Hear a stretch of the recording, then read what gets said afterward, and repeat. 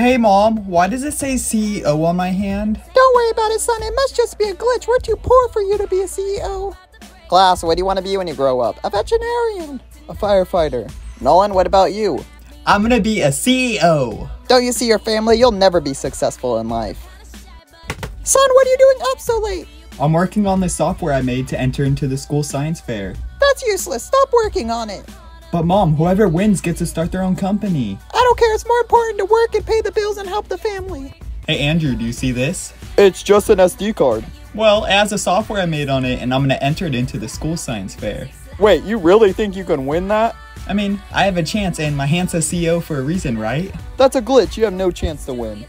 Yeah, you're right. I don't know what I was thinking. I might as well just throw it away. Well, I could throw it away for you. I'm walking that way anyways. Announcement, announcement. The winner of the school science fair is Andrew for his computer software.